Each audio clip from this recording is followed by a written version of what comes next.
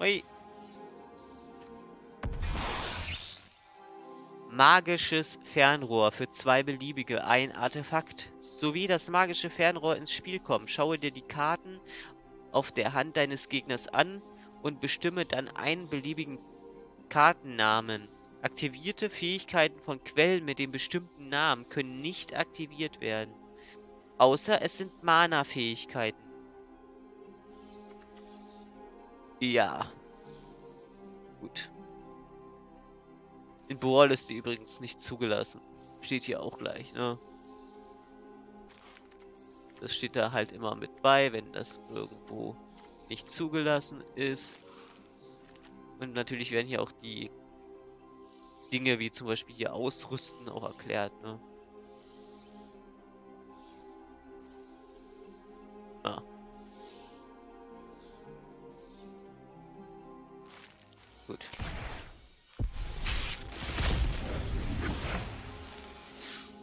Ceros. Ähm. Oh, das hat sogar vier. Bei Sage. Bis drei kennt man ja, aber vier ist, glaube ich, so Seltenheit, oder? Okay, äh, next. Eberos, der Trostlose, für drei beliebig und einen schwarz. Legendäre Verzauberungskreatur. Okay, also das ist sozusagen eine Verzauberung und eine Kreatur, das ist eine Verzauberungskreatur. Unzerstörbar. Solange deine Hingabe zu Schwarz weniger als 5 beträgt, das bedeutet übrigens äh, Hingabe zu Schwarz, jede Schwarz in den Mana-Kosten von verbleibenden Karten, die du kontrollierst, erhöht deine Hingabe zu Schwarz um 1. Ja. Ist äh, Iberos keine Kreatur. Nee, das ist eine Verzauberung, logischerweise.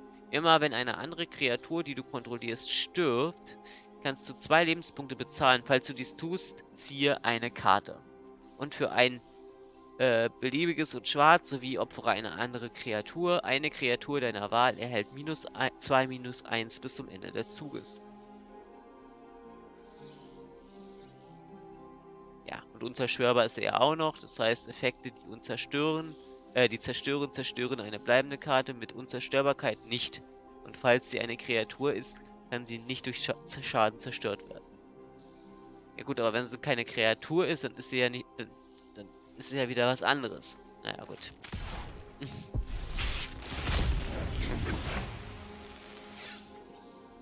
Hier wieder ein paar Karten. Tempel der Täuschung. Land. Der Tempel der Täuschung kommt getappt ins Spiel. Wenn der Tempel der Täuschung ins Spiel kommt, wende Hellsicht 1 an. Und für Tappen erzeuge ein weißes, äh, ja, genau. Farben lernen. Ein blaues oder schwarzes logischerweise.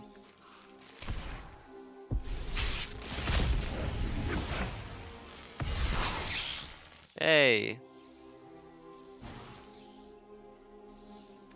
Uh, und als nächstes hier eine sagenhaft seltene. Gut, äh... Blam. Vernichtender Fraß. Spontanzauber für ein, drei beliebig und ein schwarz. Schicke eine Kreatur oder einen Planeswalker deiner Wahl ins Exil. Schaue dir die oberste Karte deiner Bibliothek an. Du kannst sie auf deinen Friedhof legen. Du kannst, musst aber nicht, ne? So, dann Ikoria.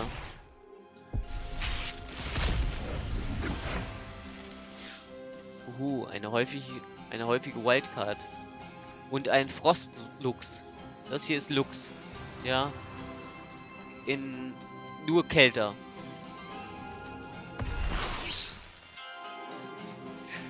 Kolossifizierung.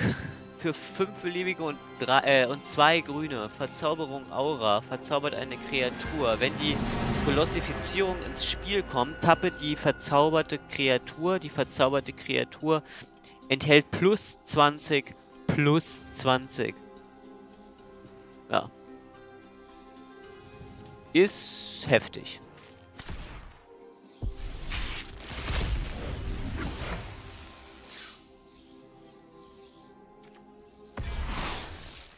Massenaussterben für drei beliebige und eins schwarz, eins schwarzes. Hexerei. Bestimme gerade oder ungerade. Schicke alle Kreaturen, deren umgewandelte Mana-Kosten dem bestimmten Merkmal entsprechen, ins Exil. 0 zählt als gerade. Ich weiß nicht, warum das da extra drin steht, dass 0 als gerade zählt. Dass 0 eine gerade Zahl ist, sollte eigentlich jedem äh, normalen Mathematiker schon klar sein. 0 ist halt eine gerade Zahl. Aber hey, die haben es halt nochmal hingeschrieben. So. Lavagrund, Glücksritterin. Für zwei beliebige und ein Weiß, Kreatur, Mensch, Soldat. Sowie die Lavagrund, Glücksritterin ins Spiel kommt, bestimme gerade oder ungerade. Null zählt als gerade. Die Lavagrund, Glücksritterin hat Schutz vor allen umgewandelten Mana-Kosten des bestimmten Merkmals. Äh, ja. Gut. Dann Hauptset 2021.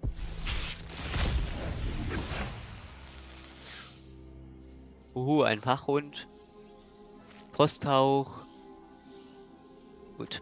Und wir haben Gatrak, Geißel der Gekrönten. Für zwei beliebige und ein rotes. Legendäre Kreatur, Drache. Fliegend. Gatrak, Geißel der Gekrönten, kann nicht angreifen, es sei denn, du kontrollierst vier oder mehr Artefakte. Muss man ja Artefakte zusammenbauen. Zu Beginn deines Endsegments äh, erzeugst du für jede Nicht-Spielstein-Kreatur, die du, äh, die in diesem Spiel gestorben ist, ein Schatzspielstein. Schatzspielstein, das ist der hier. Spielstein, Artefakt, Schatz. Opfere dieses Artefakt, erzeuge ein Mann einer beliebigen Farbe. So. Und hab. Ja, gut.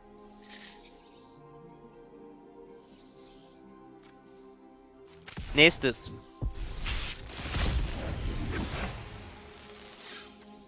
Hu, hu, hu, hu. Was haben wir hier? Erhabenes Scheinbild. Vier beliebige. Artefaktkreatur. Golem. Wenn das erhabene Steinbild, nee, Scheinbild, ins Spiel kommt, kannst du deine Bibliothek nach einer Standardlandkarte durchsuchen, sie getappt ins Spiel bringen und dann deine Bibliothek mischen. Wenn das erhabene Scheinbild stirbt, kannst du eine Karte ziehen. Ja, gut. Ich glaube, die Karte ist vor allem dafür da, äh, die Standardkarte zu bekommen.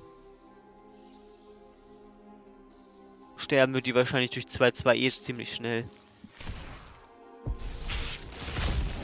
Da haben wir die Wildcard.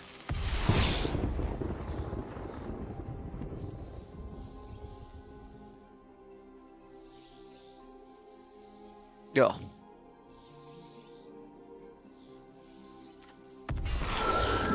Geisterhafter Dieb. Ein beliebig, ein blau. Kreatur, Geisträuber. Immer wenn der geisterhafte Dieb enttappt wird, kannst du zwei beliebig bezahlen. Falls du dies tust, ziehe eine Karte. Immer wenn ein Gegner einen Zauberspruch von irgendwo, äh, irgendwoher außer von seiner Hand wirkt, ziehe eine Karte. Wirf eine Karte ab. Der geisterhafte Dieb kann in diesem Zug nicht geblockt werden. Okay. Dann kommen jetzt die Karten von Sendikas Erneuerung.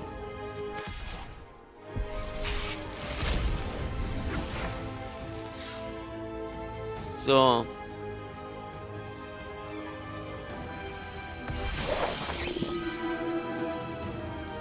Ura, hohe Priester der Himmelsfestung. Zwei beliebig, ein weiß, ein schwarz. Legendäre Kreatur. Chor, Kleriker. Lebensverknüpfung. Immer wenn Ura, Hohepriester der Himmelsfestung oder ein anderer Kleriker, den du kontrollierst, stirbst, stirbt, bringe eine Klerikermarke deiner Wahl mit niedrigen umgewandelten Mana-Kosten aus deinem Friedhof ins Spiel zurück. Oha.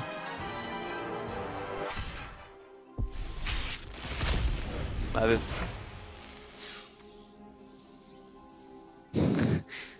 Ja, äh, manche Karten sind schon heftig.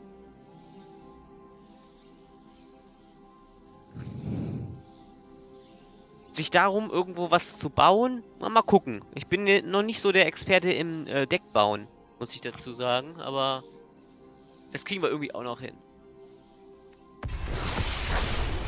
Linvala, Schild, der von, äh, Schild von Seetor. Ein beliebiges, ein weiß, ein blau. Legendäre Kreatur.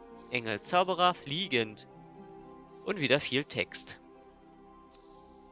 Zu Beginn des Kampfes in deinem Zug und falls du eine vollständige Abenteurergruppe hast. Oh Gott, Trupp, Abenteurergruppe. Ja. Fliegend ist klar, Trupp, deine Gruppe kann je ein Kleriker... Äh, achso, ich glaube, das kommt noch später mit dem Trupp, mit dem Text. Äh, bestimme eine bleibende Nee, das ist, glaube ich, das. Eine Abenteurergruppe meint schon, dass da ein Kleriker, ein Räuber, ein Krieger und ein Zauberer enthalten ist. Bestimme eine bleibende Karte deiner Wahl, die kein Land ist und die dein Gegner kontrolliert. Bis zum nächsten Zug. Kann sie nicht angreifen oder blocken. Und ihre aktivierten Fähigkeiten können nicht aktiviert werden. Opfere Linvala, bestimme Fluchsicherheit. Fluchsicher, ein Spieler oder eine bleibende Karte mit Fluchsicherheit kann nicht das Ziel von Zaubersprüchen oder Fähigkeiten sein, die den Gegner kontrollieren. Oder Unzerstörbarkeit. Zerstörbar, Effekte, die zerstören, zerstören eine bleibende Karte mit Unzerstörbarkeit nicht und falls sie eine Kreatur ist, kann sie nicht durch Schaden zerstört werden. Kreaturen, die du kontrollierst. Das, äh, ja, gut. Viel Text.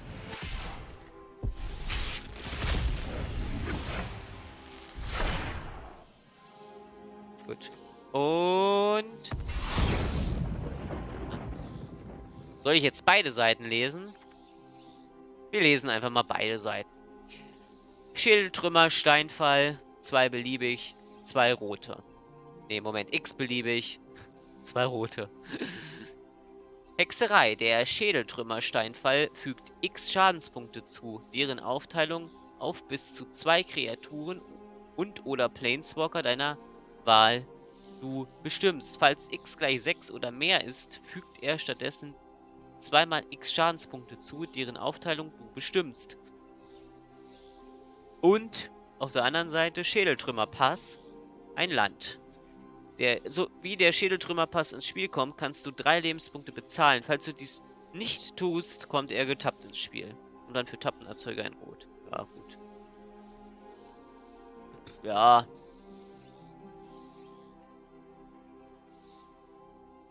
ein bisschen schwer, sch schwächeres Gebirge sozusagen. Ist halt so eine Sache, ob du das dann überhaupt noch nutzt. nutzt. Also die Schädeltrümmer-Passseite ist, glaube ich, ja, nicht so die jetzt, ne? So, jetzt haben wir noch vier Kaltheim-Booster.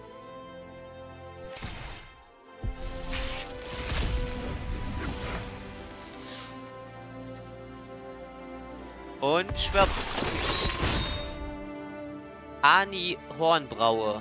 Zwei beliebig, ein Rot. Legendäre Kreatur, Mensch, Berserker, Eile, Prahlen. Ein beliebig, du kannst Ani Hornbraues Basisstärke bis zum Ende des Zuges zu 1 plus der höchsten Stärke unter den anderen Karten, die du kontrollierst, werden lassen. Okay. Das ist äh, interessant.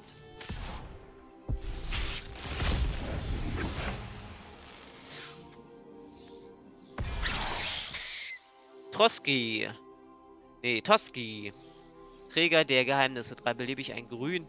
Legendäre Kreatur Eichhörnchen. Unzerstörbar. Dieser Zauberspruch kann nicht neutralisiert werden. Toski, Träger der Geheimnisse, greift in jedem Kampf an, falls möglich.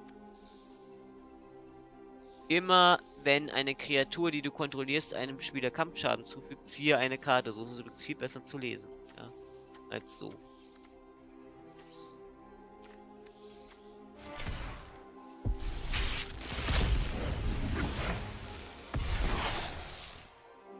Jo. Und... Oh, wieder eine doppelte seitige. Äh, Kolvori, Göttin der Verbundenheit. Zwei beliebige, zwei grüne. Legendäre Kreatur, Gott. Solange du drei oder mehr legendäre Kreaturen kontrollierst, erhält Kolvori plus 4 plus 2 und hat Wachsamkeit. Für ein beliebiges ein Grün und Tappen schaue dir die obersten sechs Karten deiner Bibliothek an. Du kannst davon eine legendäre Kreaturenkarte offen vorzeigen und auf deine Hand nehmen. Lege den Rest in zufälliger Reihenfolge unter deine Bibliothek. Oder die Ringhard-Fibel für ein beliebiges und ein grünes legendäres Artefakt. Sowie Ringhard-Fibel ins Spiel kommt, bestimme einen Kreaturentyp. Und für ein Tappen erzeuge grün. Verwende dieses Mana nur, um einen Kreaturenzauber eines äh, des bestimmten Typs oder einen legendären Kreaturenzauber zu wirken. Ja, gut. Doppelseitige Karten sind irgendwie... Ich meine, die haben zwar auch Vorteile, ne? Kannst da... Das ist quasi, du ziehst ein, äh, für eine Karte, hast dann aber zwei. Kannst dann aber nur eine wählen, aber... Ich sag mal so, im Paper Magic, also als physische Karte, ist es schwierig zu handeln, weil wenn du natürlich logischerweise hast ja Schutzfolien, also äh, also hier Schutzhüllen, meine ich, und äh, dann hast du ja meist, siehst du ja meistens nur die eine Seite und dann jedes Mal ja, ist ja für den Gegner auch ein bisschen blöde. du kannst ja nicht jedes Mal die Rückseite merken. Musste aber gegeben, musste aber hier zwangsweise ja.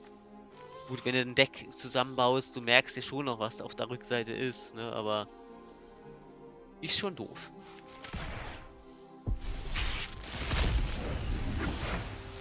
Und das letzte. Hoffentlich nicht nochmal zwei, weil dann ist wieder zu viel zu lesen. Suche nach Ruhm. Zwei beliebige und ein Weiß. Verschneite Hexerei. Ja, verschneit. Ja, auch, auch, so eine Sache immer mit ver verschneit. Durchsuche deine Bibliothek nach einer verschneiten bleibenden Karte, einer legendären Karte oder einer Sagelkarte. Zeige sie offen vor, nimm sie auf deine Bibliothek und mische dann deine Bibliothek. Du erhältst für jedes äh, verschneites Mana, ausge äh, das ausgegeben wurde, zu diesem Zauberspruch, äh, um diesen Zauberspruch zu wirken, ein Lebenspunkt dazu. Zwei beliebig, ein weiß. Ne? Gut. Das war's quasi schon wieder. Jetzt könnte man natürlich ein Deck bauen. Ja. Ich könnte jetzt einfach sagen, wir bauen uns ein... Ein wunderbares Standarddeck.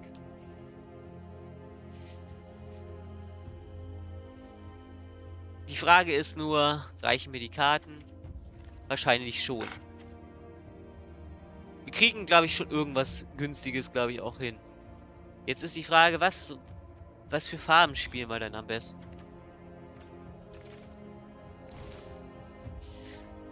Hm. Boah. Standard halt, ne? Standard sind logischerweise das hier. Thron von Eldraine. Teros, Jenseits des Todes, Ikoria Reich des Biomods, Hauptset 2021, Zendikas Erneuerung und Kaltheim. Das sind die aktuellen. Äh, ja, wann, wann kommt das nächste? Ende April kommt äh, Strixhaven. Akademie der Magier. Äh, gut. Wir machen mal weiter. Welche Farben nehmen wir denn? Hm. Wir könnten ja was Schönes in weiß-schwarz bauen.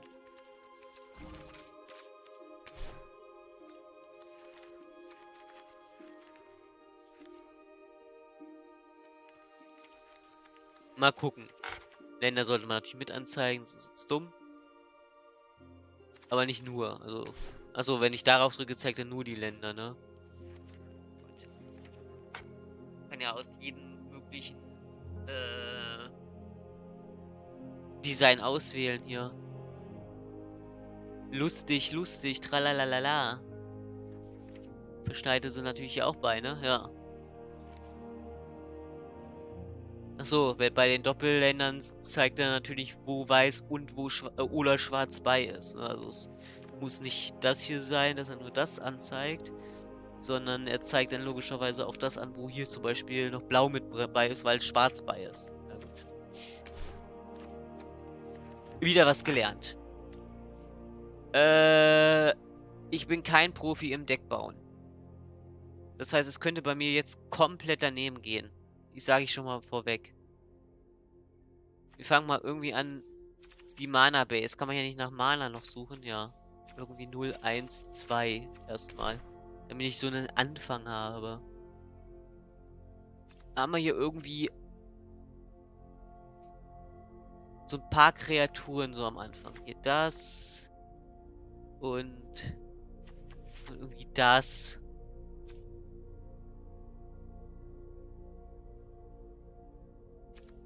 Den haben wir zweimal.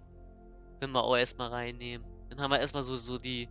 Das hier ist eine Verzauberung, ne? Aufblitzen. Wenn das oben der Toten ins Spiel kommt, bringe eine Kreaturenkarte, das fliegend.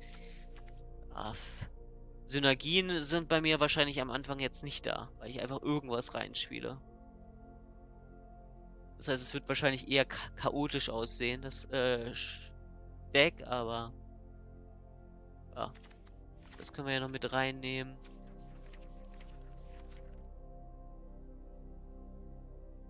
Hier habe ich noch eine fliegende, komm. Eine mit Erstschlag, ein paar kleine wenigstens. So, und dann, dann war es quasi schon. Da müssten wir mal nach zwei angucken. Hier noch so einen Hund. Vielleicht die Sage noch reinnehmen. Ohne zu wissen, was die macht. Einfach gar nicht lesen. Einfach erstmal drücken. Und dann gucken, was das macht. Auch mal lustig. Einfach wild rumklicken, um zu gucken, was man macht.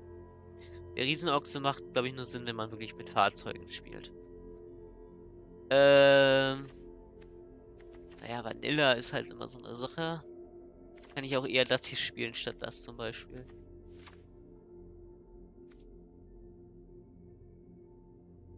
So. Jetzt mal hier kurz die Base ein bisschen in eine andere Richtung chillen. So und so.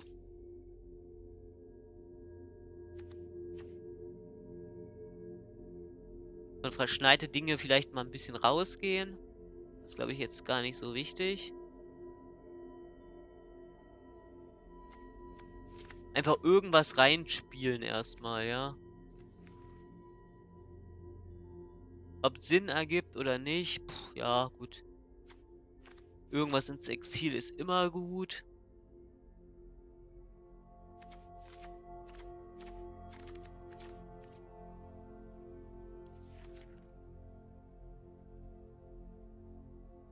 Wenn wir schon können noch die Sage reinbringen. Noch das Ding hier reinbringen.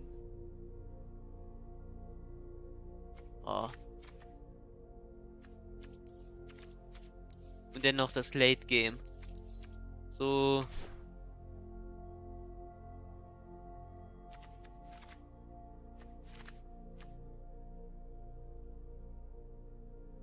Du ziehst zwei Karten und jeder Gegner wirft zwei Karten ab. Jeder Spieler verliert zwei Lebenspunkte. Ich weiß nicht, warum die da... Was die da bringt.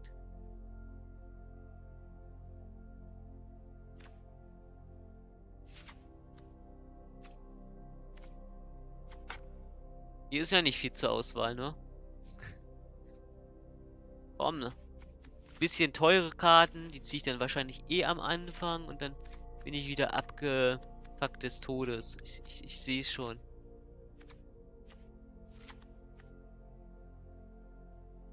So, gut. Das heißt, ich sollte hier noch ein paar, paar schwache Karten reinbringen. Das, das, das. Einfach querbild klicken, kennt man ja. So bin ich. So funktioniert es bei mir übrigens immer, ja.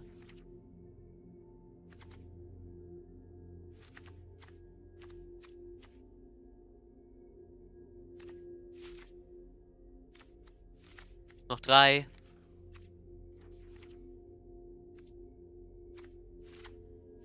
Und noch eine.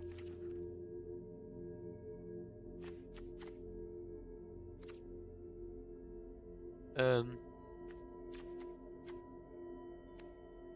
Wir haben noch eine verlassene Ödnis. So, fertig. Oh, Äh, nee, sprechen. Ich hab noch eins vergessen. Zwei verlassene Ödnisse. Achso, weil das Len... Hä? Aber das ist doch Karten.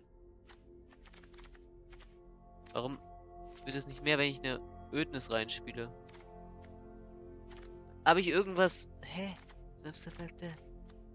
Hä? Okay.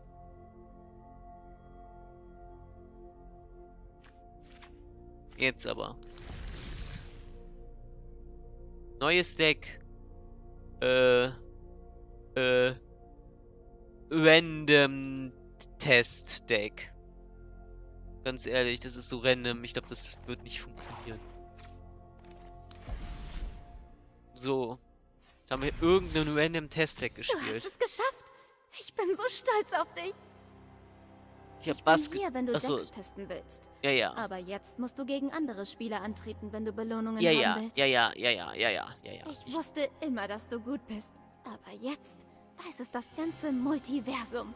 Nee, nee. Tschüss. Du weißt ja, wo du mich findest. Ja, ja. Weg. Da finde ich dich, okay. Ich spiele jetzt einfach, ähm, ja, ich spiele jetzt einfach. Mach jetzt, kann, kann ich einfach ein Bot-Match machen? Einfach ein Bot-Match mit dem Test, random, random Test-Deck. Einfach nur, um zu gucken, ob das funktioniert, irgendwie. Sparky.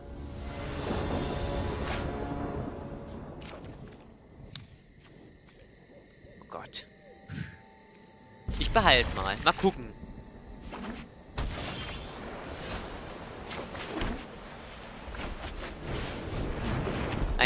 Ein 1-3 Vanilla. Ja, gut. Ja, auch immer solche Karten einbauen, ne? Brauche Deck-Tutorials. Deckbau-Tutorials brauche ich.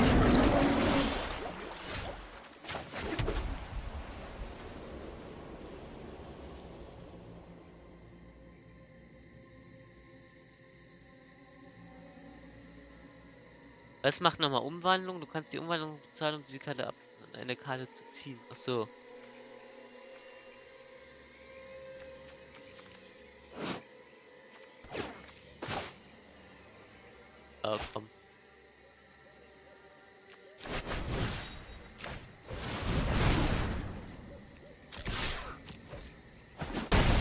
Einfach angreifen. Ich baue einfach irgendeinen Müll. Habe ich jetzt in weiß-schwarz, glaube ich, zusammengebaut. Aber ey. Geil.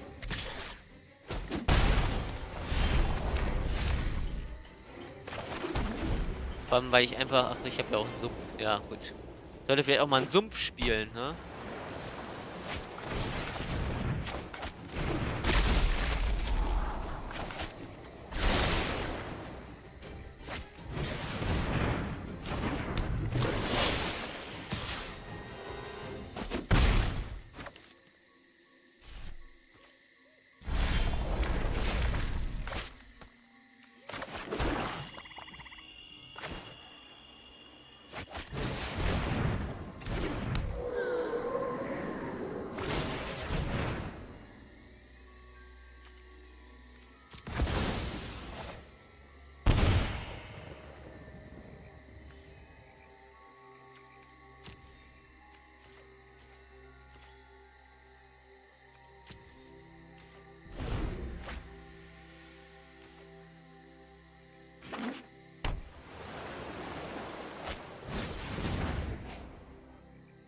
Ähm, okay.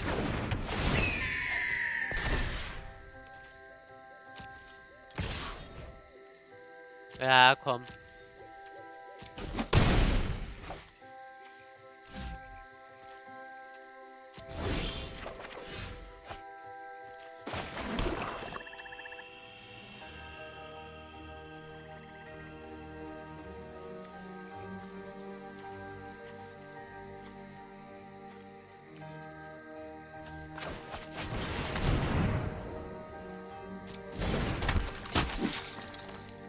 Schutz vor geraden umgewandelten Mana-Kosten. Ja, gut.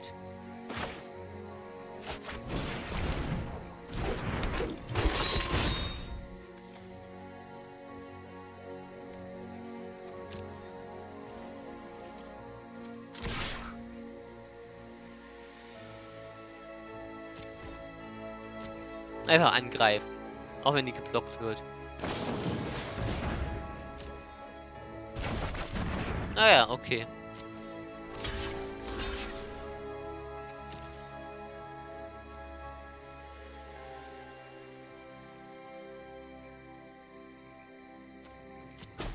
Ich glaube, man kann schon irgendwas mit dem Deck machen. Ist jetzt bloß nicht so richtig gebalanced.